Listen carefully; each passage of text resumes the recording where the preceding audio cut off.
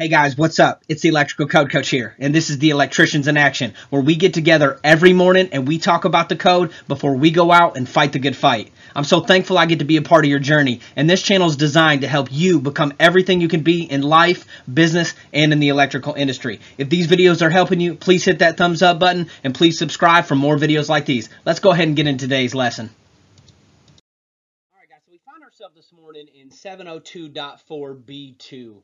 And here's the score. So the, the major question is, is what size generator do I use? What size generator do I use? And today we're talking about, you know, automatic transfer switches. If you look here in 704, uh, 702.4b1, it allows you with manual transfer switch equipment to manually select the loads and that satisfy code. Meaning that you could technically put a manual transfer switch for your entire home on a tiny generator and legally be allowed to manually switch them and it still satisfy code.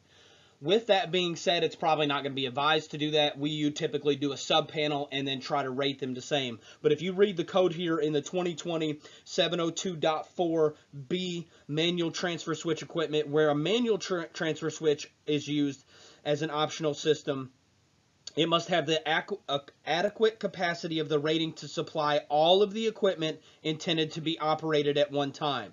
The user of the optional standby system shall be permitted to select the load that is connected for the system. Meaning that legally, you could put a smaller generator, fire up your whole panel, and then manually load shed because you're doing it all manually. Now, when you get into part two here, it talks about automatic transfer equipment. Now, here's the score, guys that your the the generator is supposed to match whatever you're going to find for that load in Article 220. Essentially, if you want to sum it up very simply, you're supposed to be able to handle the entire load of that system all at one time if you have an automatic transfer switch. Meaning if you got a 200 amp main and you did, you know, and you didn't want to do the load calculation, you would just have to size it as a 200 amp main. Now we know that's not going to be practical or cost effective. Most of the time you put in a 22 kW, I think the overcurrent device is going to be a 125. So here's the score. How can we take a 125 amp generator or or smaller and put it on a 200 amp home? Well, if you look here in part B, that's exactly how we do it. And if you look at um, the pictures that I've got on the screen here, I'm going to talk about one method that you can do it. What the code states is that you have to be the generator has to be sized to handle the entire load based off of Article 220 or have a load management system. Now, in the past, previously, you would have had communication wires in order to load shed or, you know, done it, excuse me, achieved it by some other method. Well, nowadays, Generac has came up with the smart, smart management module. I think it's called an SSM or SMM. So it's a smart management module. And these ones do not require communications, uh, communication cables. And I'm sure every brand has an equivalent. We're talking about Generac generators this week, but this is a very awesome device. So what this is going to do is you're going to be allowed to put this device that I have on the screen and you're going to be allowed to hook it up to up to eight appliances on the system. And what that is going to do, and for each appliance, you're going to be able to select a priority. So I put one on the range, I put one on the HVAC, I put one on the water heater, and I want them, and I select a priority in order of importance, all the way up to eight. So, uh, and that may change and grow to more appliances in the future, but I believe the system right now as it stands is eight. So I would, I could go up to eight different appliances, and I install one of these boxes. Very easy to wire, power in, power out. Um, just follow your manufacturer specifications. And what it's going to do is, is the reason these ones don't need communication wires is because they run off a of frequency. It's awesome.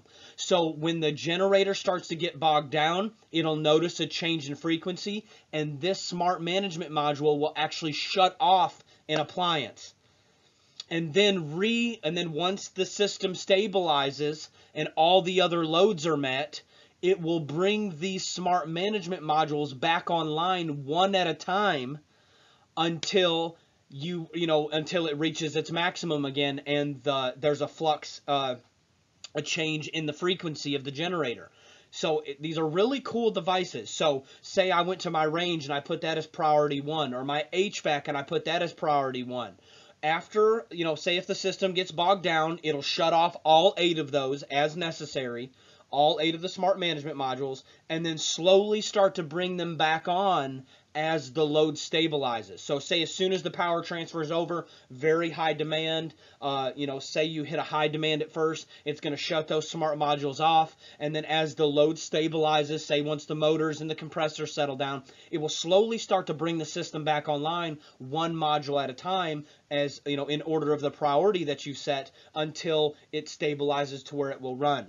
That's how we can legally take a 125 amp generator and put it on a a 200 amp service in the same with an automatic transfer switch. Now there's other ways to achieve this um, where you can manually load shed or you can only provide uh, generated to a portion of circuits that does not exceed that generator's values. But if you want to go ahead and put a whole house automatic transfer switch, you can take a 100 amp generator or a 90 amp generator or whatever and install these install these smart management modules. Technically, technically, technically, you would have to sit down and do all the math and stuff. But listen, if you take your largest appliances and you put them on these smart management modules, you're not going to have any trouble because the generator is going to be a smart generator for you. These ones from Generac do not require communication wires. As soon as it you know uh, notices the flux in the frequency, the change in the frequency that the generator is being bogged down, then it's going to automatically drop those out and bring those back in at level of priority. So this is a very cool way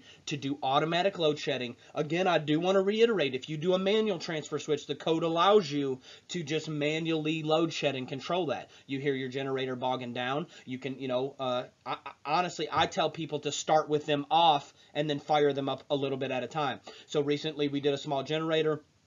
We went over there, we set him up. I trained him to turn his refrigerator back on first and then wait about 10 to 30 seconds and then start to turn all the other loads on that way he doesn't get hit with any peaks and you know perhaps damage the generator or you know completely shut it off. Also, I want to note that some of these smaller generators now and perhaps larger ones have smart. Uh, it's built-in smart. You could literally this was a plug-in Honda generator that we installed.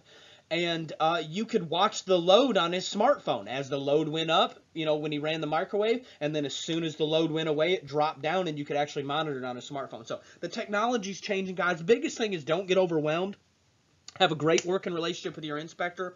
Don't stop until you feel like you have the correct answers and just keep grinding and keep getting it. So listen, if these videos are helping you guys, please hit that thumbs up button today. Let's get this channel rolling. Let's get the word out there. I just want to see you guys win. This channel is designed to help you become everything you can be in life and in business and in the electrical field. Whoo, I'm just so excited this morning. You guys have a happy Thursday. Let's go ahead and get to it, y'all.